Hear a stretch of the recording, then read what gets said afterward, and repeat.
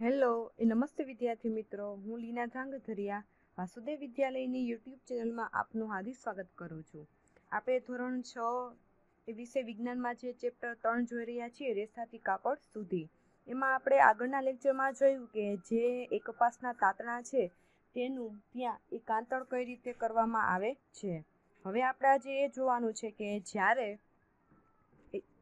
જ્યારે રેસામાંથી તાતણા બની જાય છે, ત્યારબાદ એ તાતડામાંથી કઈ રીતે કાપડ બનાવવામાં આવે છે?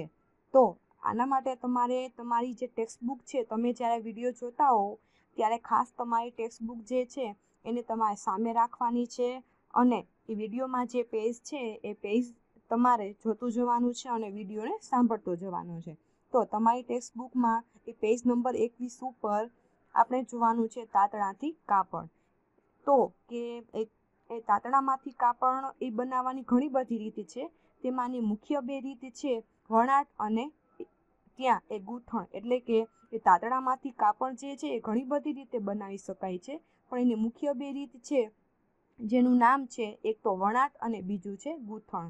તો પહેલાં આપણે જોવાનું છે વણાટ કે કઈ રીતે એ તાતણાઓમાં જ્યારે કોઈ પણ એ કાપડ જે છે એ વણાટની રીતે એ તૈયાર કરવાનું હોય તો તેમાં શું કરવામાં આવે છે? તો એના માટે શું કહે છે કે એ પ્રવૃત્તિ બેમાં તમે નોંધ્યું હશે કે તાતણાના બે જૂથની એક સાથે ગોઠવણીથી ત્યાં એ કાપડ બને છે. જે પદ્ધતિ દ્વારા તાતણાના બે જૂથ એક સાથે ગોઠવાઈને કાપડ બનાવે છે તેને વણાટ કહે છે. વણાટ એટલે શું? તો કે જેમાં કોઈ પણ તાતણા હોય, જે જે તે કાપડના જે તે કાપડ બનાવવાના જે તે પ્રકારના એ તાતણા હોય છે, એને બે જૂથમાં એટલે કે બે ગ્રુપમાં વેચી દેવામાં આવે છે. ત્યારબાદ એક જૂથમાંથી એક તાતણો લઈને, ત્યારબાદ બીજા જૂથમાંથી એક તાતણો લઈને, એટલે આ રીતે એક પછી એક એ વારાફરતી બંને જૂથમાંથી એક એક તાતણો લઈને સમગ્ર જે કાપડ છે એ બનાવવામાં આવે છે. જેને શું કહેવામાં આવે છે? વણાટ કહેવામાં આવે છે. આની વ્યાખ્યા ખાસ. બરાબર? તો આને કહેવામાં આવે છે એ વણાટ.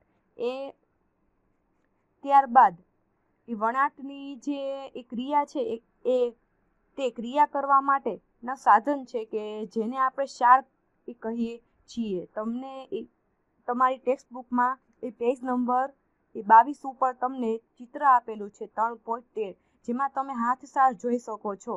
એ જે તે પ્રકારના કાપડને એ વણાટની રીતે તૈયાર કરવા માટે હાથસાળનો ઉપયોગ થાય છે. આ પણ પૂછાઈ શકે છે. અને હવેના સમયમાં તો સાર જે છે એ હાથથી ચાલી શકે તેવી પણ હોય છે અને વીજળીથી ચાલતી સાર જે છે એ જોવા મળે છે.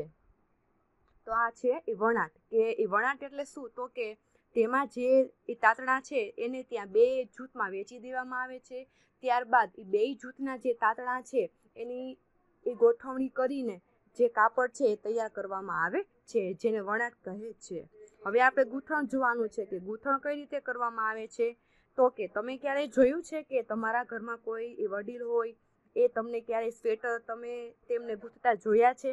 બરાબર? હા, તો તમે એવું જોયું જ હશે. તો એ ગૂંથવામાં શું કરવામાં આવે છે કે ત્યાં એ વણાટની જેમ જે તે તાતણાઓને બે જૂથમાં વેચવામાં આવતા નથી. પણ શું કરવામાં આવે છે કે માત્ર એક જ તાતણું જે છે એ તાતણાનું ખાલી એક જ જૂથ લેવામાં આવે છે અને સમગ્ર એ એક જ તાતણાનો ઉપયોગ કરીને સમગ્ર કાપડ જે છે ગૂંથવામાં આવે છે.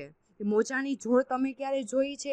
એમાંથી જ્યારે કોઈ પણ મોજું છે એ કોઈ જગ્યાથી તૂટી ગયું હોય તો તમે એનો જે એક છેડો હોય એને તમે ખેંચજો અને ટ્રાય કરજો કે તમે એક છેડો જ્યારે ખેંચશો ત્યારે સમગ્ર મોજું જે છે એ ઉકેલાતું જાય છે.